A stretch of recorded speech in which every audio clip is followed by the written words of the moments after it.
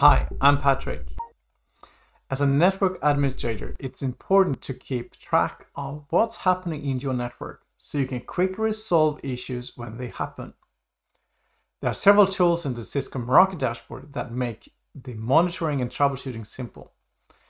You have the event log, the device list, the topology page, and the wireless health page, to mention some of them. To make it even simpler, in the top right corner in the dashboard, you have the Alert Hub, which summarizes many dashboard alerts for you to one single place. Let's take a look at what information you will find in Alert Hub. To start with, we have the alert categories, configuration issues, connectivity issues, device health issues, and insights.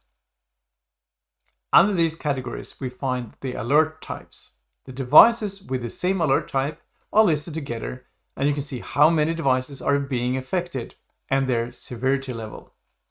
Yellow is warning and red is critical. If you want to start troubleshooting, you can click on the name of the device to get more details.